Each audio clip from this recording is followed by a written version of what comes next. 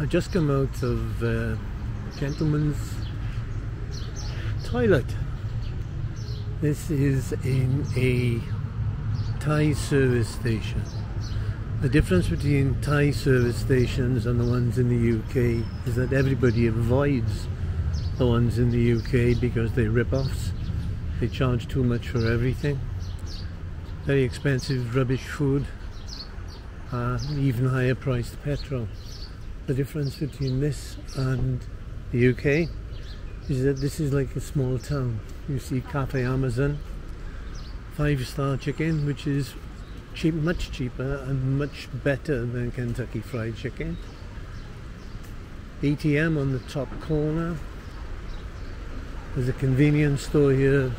Doesn't look like it's a 7-Eleven. Oh, there's a shoe shop, which you wouldn't ordinarily expect to get in the UK.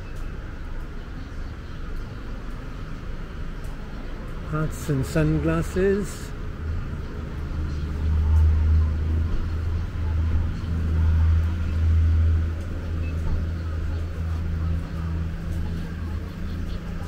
I don't think it is a 7-Eleven, but it's very much like one. If you're driving in Thailand, you actually do stop at service stations, not only to go to the toilet, but to have food and not get ripped off. There's a Dunkin' Donuts there. Obviously you've got the petrol. Plenty of space for people to park.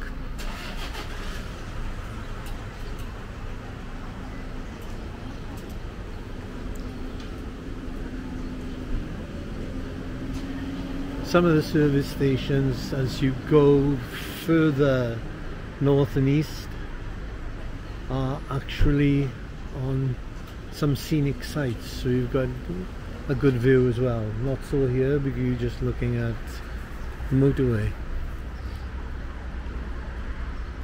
Plenty of space. No charges for parking obviously. The food you buy here is virtually the same price that you'd pay for street food. If there's one or two baht difference, that would be the tops.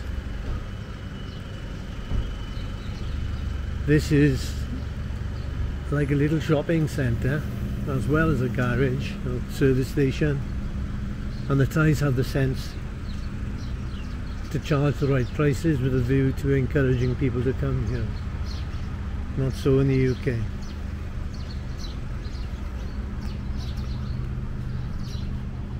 It's only half past eight in the morning when I'm here. So a number of little things that haven't opened up yet. This, judging by the signs outside, is sausages and chicken on a stick and that sort of stuff. This guy's just opening. Food shop. Chog tea is there.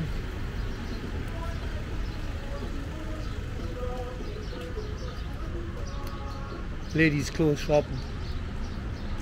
Impossible to have one of those in the UK in a service station. T-shirts.